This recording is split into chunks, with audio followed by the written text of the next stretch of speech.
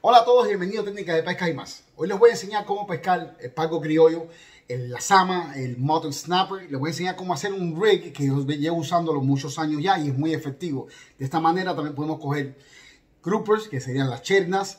Podemos coger eh, los African Pompanos, se cogen cobias, se cogen muchas especies que viven en el fondo. Es bien efectiva con cualquier especie que vive en el fondo, por es la mejor manera que sirve para coger lo que le dicen los samas en Puerto Rico, el paco criollo le decimos en Cuba, el mutton snapper le dicen en inglés. Para esos peces, este es el rig que queremos usar. Antes de hablar del rig, le quiero hablar un poquitito sobre el carrete y la vara. El carrete, rapidito, queremos usar un carrete convencional. Los carretes convencionales, como muchos ya saben, son estos que son así de lado. Estos carretes actúan como le diríamos en español un winche. Son mucho más duros para más, alan mucho más fácil, más duro que un carrete spinning. Aunque un carrete spinning pueda tener un drag muy alto, no significa que va a recoger, no, no, va a no va a actuar como un winche, como le dicen, como lo hace este tipo de carrete. Eso significa que para la pesca de fondo queremos usar un tipo de carrete como este, convencional son mucho más efectivos que los carretes spinning. Segundo, queremos un carrete que sea rápido y mucho mejor todavía si tenemos un carrete que sea de dos velocidades como este. Este carrete tiene dos velocidades, lo cual significa que tiene una baja que recoge poco, pero es muy fácil de darle vueltas y tiene una que es alta, que recoge mucho más línea, pero por supuesto es más duro de darle vueltas porque está recogiendo tanta línea.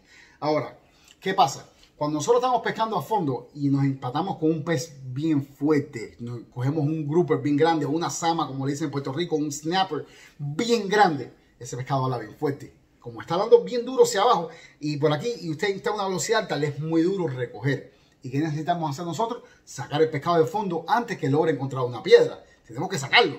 Eso significa que necesitamos usar bastante drag. El drag necesita estar de una manera bien fuerte y necesitamos meterle presión para arriba duro para poderlo sacar. ¿Qué vamos a hacer? Vamos a coger el carrete y lo vamos a poner en la velocidad pequeña, que es la velocidad bajita, el low gear en la velocidad baja, y va a ver que va a poder, aunque está dando muy duro, usted va a poder recoger mucho más fácil. Por eso lo va, y lo va a lograr sacar de fondo. Por eso queremos usar un carrete de dos velocidades. Por supuesto, son un poco más caros. Si no lo tenemos, pues usamos lo que tenemos. Que es lo, lo que hay. Si tenemos spinner y no tenemos convencional, usamos spinner. Pero preferiblemente este es el carrete que queremos pescar para fondo, para la pesca que vamos a hablar de hoy en día, que es para peces grandes. Estamos buscando pagos grandes, chenas grandes, animales grandes, ¿ok? La vara. Queremos una vara que podamos confiar, que podamos jalar lo suficientemente duro y que no se va a dañar. No queremos una vara que cuando la vayamos a, que, que, vayamos a jalar, que tengamos miedo que se nos vaya a jorobar, que se nos vaya a partir. No, tiene que tener una vara lo suficientemente buena y ustedes tienen que tener confianza de que pueden alar bien duro. Porque, como expliqué anteriormente, necesitan alar bien duro para sacar ese pescado del fondo, para que no se logre esconder en una cueva, debajo de una piedra. Tenemos que alar los primeros 10 segundos de la pelea son los más importantes. Tenemos que alarlo bien duro y fuerte. Apretar el drag duro, por eso se usa línea un poquito gruesa y alar fuerte, fuerte para lograr despegarlo. Ya una vez que logramos despegar el pez del fondo, ya podemos hasta aflojarlo un poquito poner la velocidad más alta y recogerlo con más tranquilidad. Pero los primeros 10 segundos son a duro y sin guante, como decimos en Cuba, fuerte. Es una pelea fuerte, bien duro y no aflojamos nunca. Ya cuando logramos despegarlo de fondo, ya la cogemos las cosas con mucho más calma. Ok, señores, les voy a enseñar cómo se hace el rig. Es bien sencillo. Vamos a, hacer la primera parte del rig. Primero que nada, vamos a necesitar un quitavueltas, uno económico, no tiene que ser nada especial. Y lo vamos a poner dentro de la línea, ¿verdad? Y lo vamos a dejar adentro. Segundo, vamos a usar una de estas bolitas que le dicen beds. Puede ser redonda, puede ser cuadrada, puede ser triangular como esta, cualquiera, no importa. Usamos una de ellas y la ponemos por dentro. ¿okay? Hasta ahora esto es lo que tenemos. ¿okay? Después vamos a necesitar un vuelta de buena calidad. Este es el que va a aguantar la pelea realmente. Necesitamos un vuelta bueno. ¿Qué vamos a hacer? Voy a un poco más de línea. Vamos a hacer un nudo el nudo que más le guste a ustedes. En este caso le voy a hacer un nudo cualquiera que no está ni siquiera bien hecho, pero voy a hacer como quiera. Esto no importa, es solamente para demostraciones, pero sí amárrenlo con el nudo que más les guste a ustedes lo mejor posible, ¿ok? Como dije, esto está ni siquiera este nudo que hice no está ni siquiera bien hecho, pero es solamente para aguantarlo aquí, ¿ok? Hasta ahora, esto es lo que tenemos.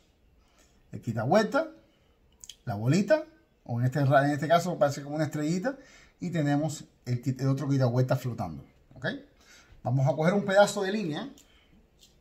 Ok, vamos a coger un pedazo de línea, en este caso va a ser pequeña porque es para demostrarle a ustedes, pero debería tener por lo menos dos pies. Usted quiere dejar la línea esta, del el largo, el final, cuando terminemos de hacerla debe tener por lo menos dos pies de largo. Le voy a explicar cómo se pone, esto va a ser para el plomo. Vamos a venir a la quita vuelta, ok, lo vamos a pasar aquí y le vamos a hacer un nudo. Este es el quita vuelta que queda flotando, ¿verdad? Que no tenía que no estaba agarrado con nada, simplemente estaba flotando dentro de la línea. Le vamos a hacer un nudito. Ok. Siempre contamos los tags para que no se vea feo. esto es lo que tenemos hasta ahora. ¿Verdad? Que estaba flotando, la tiene un pedazo de hilo. En esta punta lo vamos a doblar. ¿Verdad? Vamos a doblar la línea. Y vamos a hacer un nudo. Pero el nudo que vamos a hacer es doble, ¿verdad? Venimos aquí, a ver si lo pueden ver, hacen uno y van a pasarlo una vez y lo vuelven a pasar una vez más. Este nudo ya no se zafa. Lo van a pasar dos veces. Así lo pueden ver. Lo van a poner, lo pasar dos veces en vez de una sola vez. Cerramos. Va. Estamos está cerrado. Y lo que nos queda es este lacito. Este lacito es el que va a amarrar el plomo. Yo les voy a explicar qué plomo y qué todo en un momento, pero por lo menos vamos a ver cómo se pone en este, este caso. El plomo, la línea la pasamos por dentro del plomo. A ver si pueden verlo aquí. ¿Verdad? Bien fácil. El, lacito lo van a meter por dentro del plomo y lo van a regresar hacia atrás. Y así queda. Queda amarrado. Lo pueden dejar así o lo pueden subir hacia arriba, como más gusten, y dejarlo así de cualquiera de las dos maneras funciona idénticamente. Esta línea, en este caso, yo la hice bien pequeñita para que ustedes puedan ver, pero esto debe quedar por lo menos dos pies de largo, ¿ok? Ahora voy a enderezar la cámara para seguirles explicando la próxima parte. Ok, hasta ahora esto es lo que tenemos hecho, ¿verdad? El plomo que se mueve hacia adelante y hacia atrás, con nuestro quita vuelta adelante. Le voy a explicar cuál es la parte más importante de todo este rig. Ok, está? Vamos a usar un líder. El líder que vamos a usar adelante es lo más importante. En este caso yo voy a usar 50 libras porque yo uso carnadas bien grandes con la idea de coger pescados grandes. Entonces, no se fijen en los nudos que estoy haciendo porque lo estoy haciendo como quiera. No lo estoy haciendo bien hecho. Estos nudos no son lo que tienen que hacer ustedes. Ustedes hacen el nudo que más les guste a ustedes. ¿Ok? De aquí en adelante va a ser el líder, ¿verdad? Hasta aquí va esto que tenemos hecho adelante. So, aquí adelante es el líder y donde va a ir el anzuelo. Esta es la parte más importante de todas y les voy a explicar por qué. En este caso lo dejé bien para que ustedes puedan ver. Pero esta es la parte más importante y me voy a acercar para explicarle bien. Si estamos pescando en un barco, en una embarcación por supuesto, y estamos pescando en aguas profundas de más de 100 pies, por lo menos queremos usar de 30 a 40 pies de largo. Le va a parecer a algunos exagerado, pero eso es lo que necesitan usar. De 30 a 40 pies de largo. En algunos casos, cuando hay mucha corriente, pueden usar hasta 40, 50 pies de largo. Es bastante largo el líder. Es muy importante que el líder este que están dejando adelante, donde va a estar el anzuelo, lo dejen bien largo. Es lo más importante de todo. ¿okay? A Poner el anzuelo aquí como quieran, para que lo puedan ver. Casi siempre hago esta pesca en más de 100 pies. Por eso me gusta usar anzuelo de Circle Hook de la marca Honor. Ustedes usan el que más les guste y ustedes usan el que más quieran. Yo uso de tamaño 5.0, de más pequeño 5.0, dependiendo de la carnada que estoy usando, o 7.0, que aquí está la diferencia. Uno es un poquito más grande que el otro, por supuesto. El 7.0 es más grande y el 5.0 un poco más pequeño. ¿Verdad? Estos son los dos anzuelos que normalmente yo uso. 5.0 o 7.0 dependiendo del tamaño de la carnada que estoy usando. Estoy usando carnadas bien grandes, usamos, por supuesto, 7-0. Si son más pequeñas, como un balijú o algo así, usamos 5-0. Si estoy pescando, a me, yo personalmente, si estoy pescando en menos de 100 pies, me gusta usar anzuelo J-Hook. Por aquí los tengo, mira, aquí están. Este tipo de anzuelo. El mismo 5.0 J-Hook.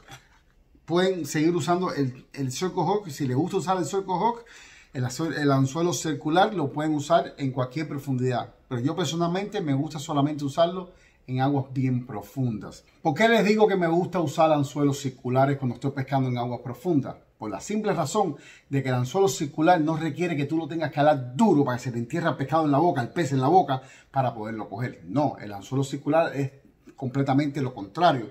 Necesitas tú solo recogerlo suave y el solito se le va a poner en la orilla de la boca y se, y se, le encaja al, pescado, al pez. Por eso es que me gusta usar anzuelos circulares. Ya que estoy pescando en agua profunda, significa que tengo por lo menos mínimo, voy a, si estoy pescando en 100 pies de agua, por, lo menos tengo 100, 120 de línea, más 40 o 50 pies de el. Tenemos una buena distancia. Entonces el pescado viene, el pez viene y come por allá y a veces aquí no lo sentimos, no nos damos cuenta que hay un pez comiendo. Al usar anzuelo circular, no importa si sentimos o no sentimos la picada, el pescado solo se lo va a comer y cuando salga, el solito se va a enganchar. Así de sencillo, por eso me gusta usar anzuelos circulares. Cuando estamos en menos profundidad, cuando estoy en menos profundidad, ya estoy, ya siento más, porque hay menos cantidad, menos cantidad de línea entre yo y la carnada, hay menos línea, por supuesto, y ya yo siento más y me gusta yo hacerlo con la mano. Pero mientras estoy muy lejos, usamos anzuelos circulares. Otra de las partes más importantes de esta pesca es el plomo.